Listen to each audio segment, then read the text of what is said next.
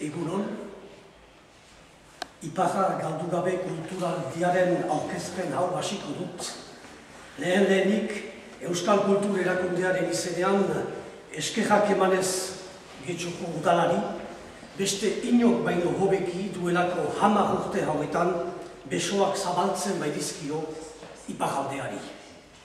Miresker beraz, Imanol Landa, alkate jaunari, Koldo Iturbe kultura eta Euskara zinegotziari, baita ere, errele baten pare, beti lan fina eginez eta kemenez, hagemanak konkretuki aurrera daramatzan Roxe, Roxi Arakaba adiskidean. Aurtengo programazioa bi ardatz nagusitan banatuko nuke. Iparaldea hoita bat dokumentala eta haren inguruan egingo diren ekintzak eta dokumentala hau dakauzue, eta bigarrena herri isilean erakusketa.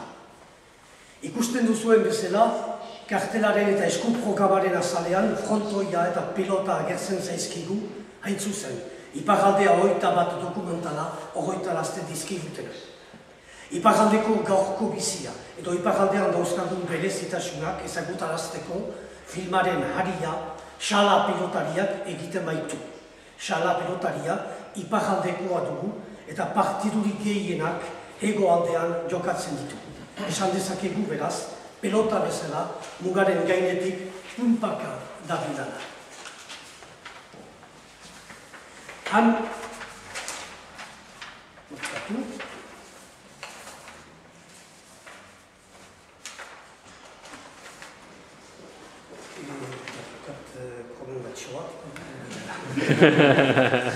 Zergatik, ara zergatik kultura babostaldi honetan, pelota partidoak izango diren, eta transmisioa ere kontuta hartuta dago Sebastian González azkaindar xapelduna bertara etorriko baita haurrekin pelotan aritzeko.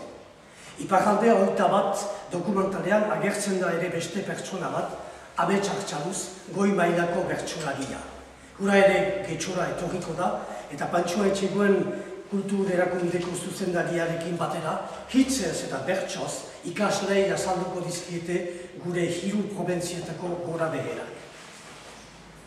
Hamar urte beraz Euskal Kultur erakundeak getxo hiriari kultur proposamenak egiten dizkiola eta getxo onartzen dituela haranola kantuketan eta batek mila Euskal Munduak erakusketak.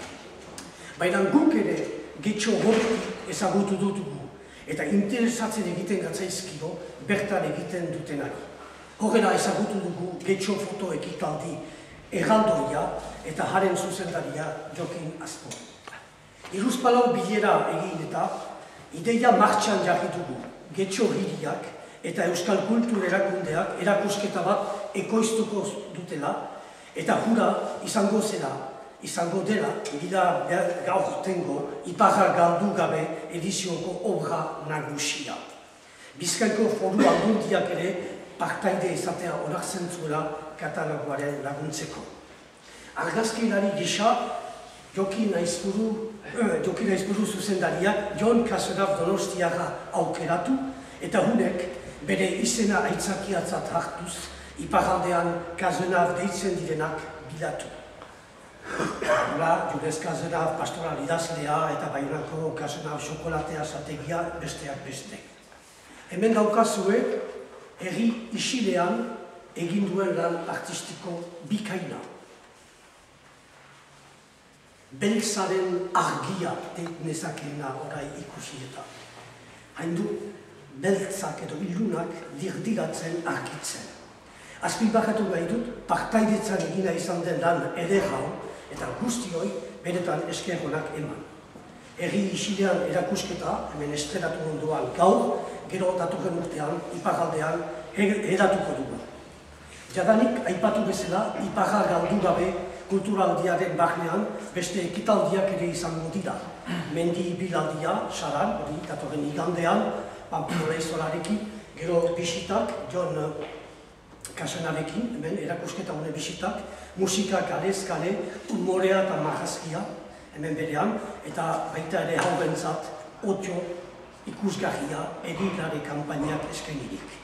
Saiatu gara, alor ezberdinetako gauzak proposatzen.